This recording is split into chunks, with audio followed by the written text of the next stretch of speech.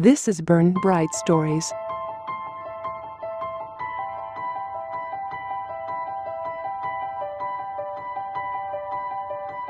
Hey, welcome to the very first Burn Bright story. So Chinese tech giant Xiaomi is in the news after releasing an inexpensive drone packed with premium components, undercutting established rivals including DJI. While this company is huge in Asia, consumers in the West are only just starting to get acquainted with Xiaomi offerings. So let's take a look at the backstory of Xiaomi. Xiaomi initially started as a software company founded in April 2010 by ex-Kingsoft CEO Lei Jun, creating a new custom ROM based on Google's Android. MIUI, the ROM which the team created, ramped the technology and achieved a huge success which was ported to many devices.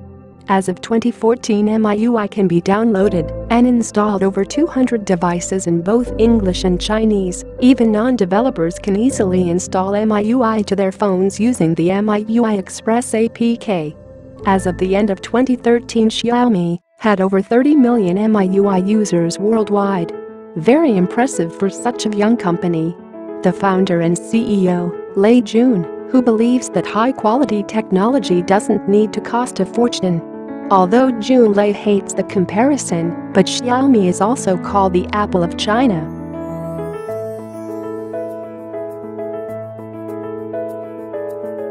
In 2012, Xiaomi shipped a total of 7.2 million smartphone and in 2013 the number rose to 18.7 million.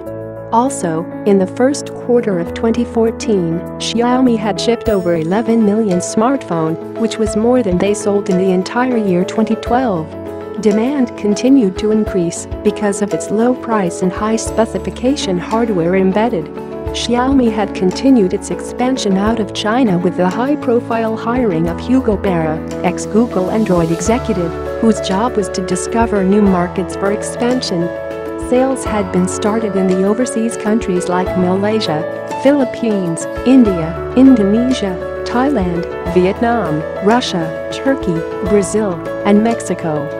In 2015 Xiaomi sold 70 million smartphones. Not only this Xiaomi vice president Hugo Barra launched some of Mi products in Europe and USA.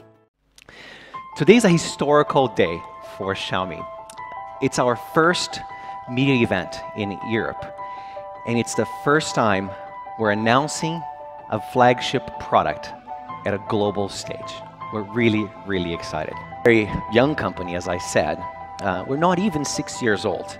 Last year, we sold over 70 million uh, smartphones around the world. And that's, by the way, actual sellout. These are not products sold into the channel, but actually products sold to consumers mostly because we sell directly to consumers.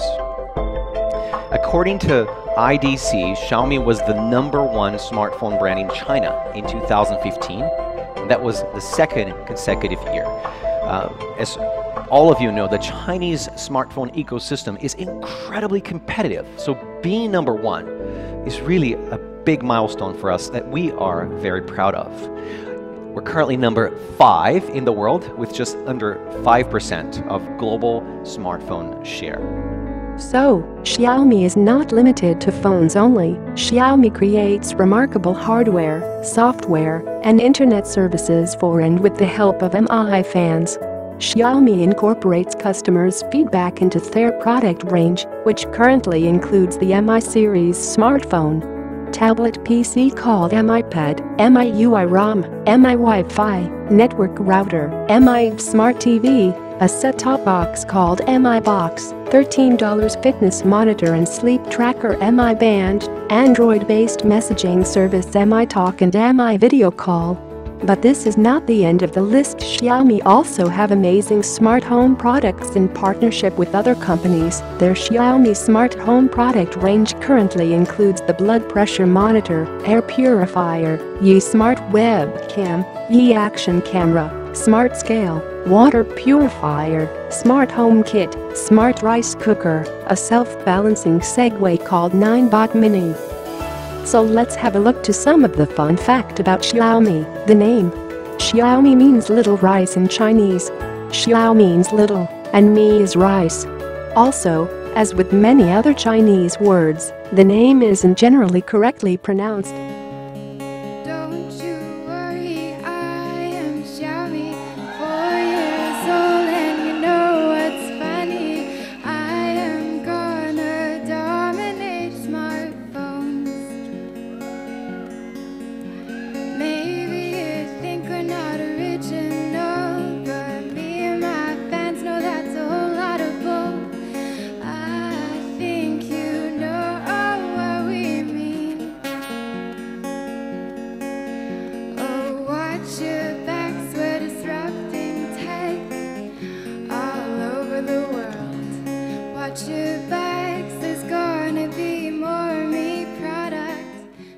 Well that's a pretty nice song by me superfan Naomi.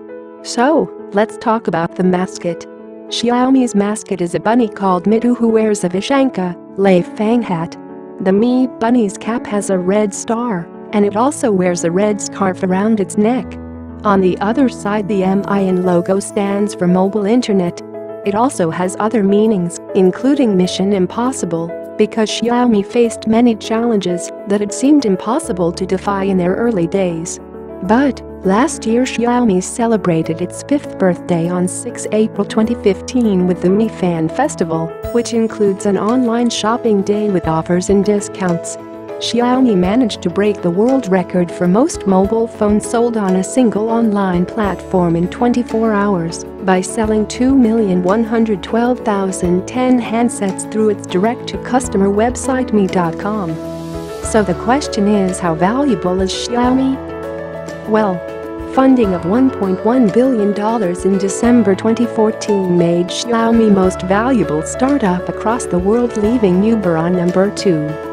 On the other side Xiaomi is ranked 2 on the list of 50 smartest companies 2015 by MIT Technology Review, which noted in the publication that the fast-growing smartphone vendor is maturing beyond its original cut-price Apple model with ideas like flash sales over its mobile messaging platform. Not only this, but Xiaomi was ranked 3 in the list of most Innovative Companies 2014 by Fast Company for reinventing the smartphone business model in the world's largest mobile market.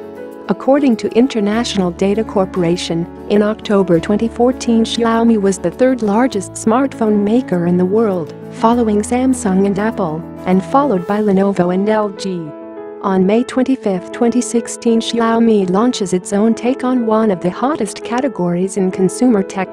Drones. Xiaomi's Mi drone is a quadcopter with a 3-axis gimbals, 4K camera, and a remote control that uses your smartphone as its viewfinder. The 4K version retails at just under $460, while the 1080p model is priced at $380. Typically, 4K camera drones from DJI and Yuneec retail for more than $1,000.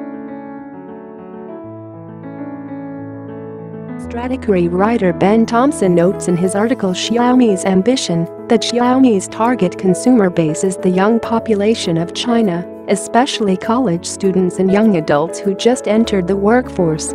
As they get places of their own, they will need TVs, air purifiers, etc., things that Xiaomi sells along with the smartphones.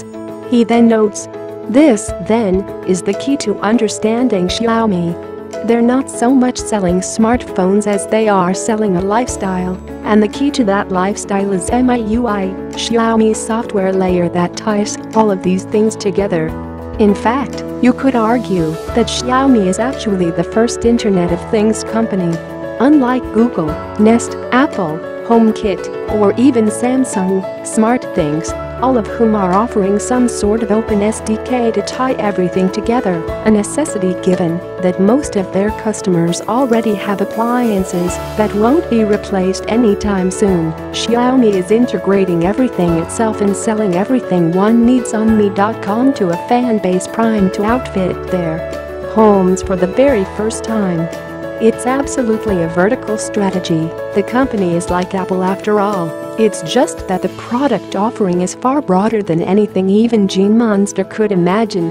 The services Lei Jun talks about, MIUI and Mi.com especially, sell the products and tie them all together, but they are all Xiaomi products in the end.